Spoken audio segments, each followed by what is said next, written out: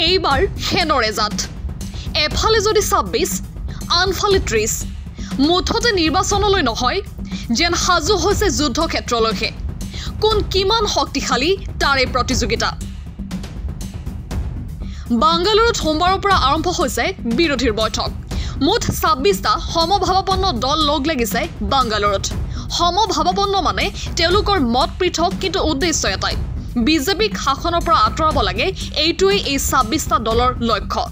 আনহাতে বাকী ত্ৰিছটা দলৰ উদ্দেশ্য হৈছে কেনেকৈ পুনৰবাৰ শাসনলৈ আহিব পাৰি। উল্লেখ্য যে বিগত তেইছ জুনত বিহাৰৰ পাটনাত অনুষ্ঠিত হৈছিল বিৰোধী দলৰ বৈঠক। এই বৈঠকত মুঠ পোন্ধৰটা বিৰোধী দলে অংশ লৈছিল কিন্তু এইবাৰ সংখ্যা বাঢ়িল বিৰোধীৰ। এইবাৰ বিৰোধী দলৰ সংখ্যাই স্পৰ্শ কৰিলে ছাব্বিছৰ ঘৰ। মুঠ পোন্ধৰটা নতুন দলে অংশ ল'ব এই বৈঠকত।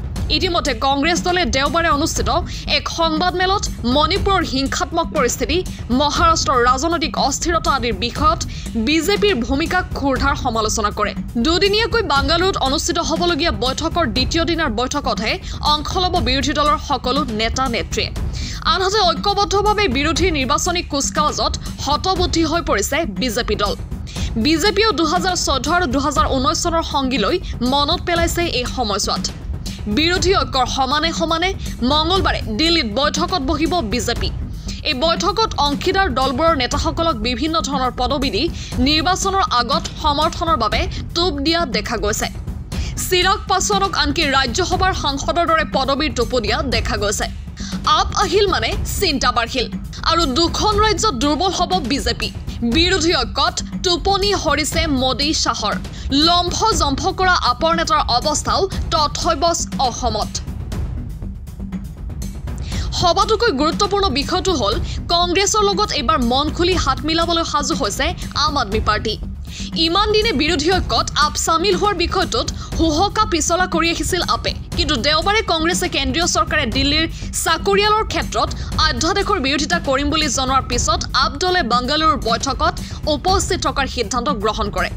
ইয়াৰ পিছতেই কংগ্ৰেছ দলৰ নেতা কে চি বেণুগোপালে কয় দিল্লীৰ অধ্যাদেশ সম্পৰ্কত আমাৰ স্থিতি একেবাৰে স্পষ্ট। আমি কেন্দ্ৰীয় চৰকাৰৰ যুক্তৰাষ্ট্ৰীয় নীতিক আওকাণ কৰাৰ পদক্ষেপৰ বিৰোধিতা কৰি আহিছোঁ। আমি প্ৰায়ে কেন্দ্ৰীয় চৰকাৰে বিৰোধী শাসিত ৰাজ্যবোৰত ৰাজ্যপালৰ অপৰিসীম ক্ষমতা প্ৰয়োগৰ বিষয়টোৰ বিৰোধিতা কৰি আহিছোঁ।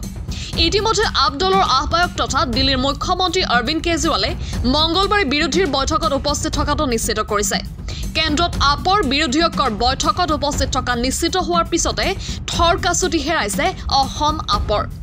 উল্লেখ্য আপৰ ৰাজ্যিক সমন্বয়ক ভৱেন চৌধুৰীয়ে আপে আগন্তুক লোকসভা নিৰ্বাচনত মুঠ চৈধ্যটা সমষ্টিতেই প্ৰতিদ্বন্দ্বিতা আগবঢ়াব বুলি নিশ্চিত কৰিছিল।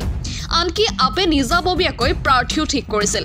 এতিয়া কেন্দ্ৰীয়ভাৱে দলটোৱে সিদ্ধান্ত লোৱাৰ পিছত অসমতো আপৰ ৰেহৰূপ সলনি হ'ব। ঠিক কেন্দ্ৰৰ দৰে অসমতো মুঠ এঘাৰটা বিৰোধী দল বিজেপিৰ বিৰুদ্ধে ঐক্যবদ্ধ হৈছে। কেজৰিৱালৰ সিদ্ধান্তই যিহেতু চূড়ান্ত সিদ্ধান্ত গতিকে অসমতো আপৰ স্থিতি সলনি হোৱাটো নিশ্চিত। এক কথাত আপ বিৰোধীৰ ঐক্যজোঁটত চামিল হোৱা মানে দিল্লী আৰু পঞ্জাৱত বিজেপি দলৰ স্থিতি দুৰ্বল হোৱা। উল্লেখ্য পঞ্জাৱত মুঠ তেৰখন লোকসভাৰ আসন থকাৰ বিপৰীতে দিল্লীত লোকসভাৰ আসন আছে সাতখন।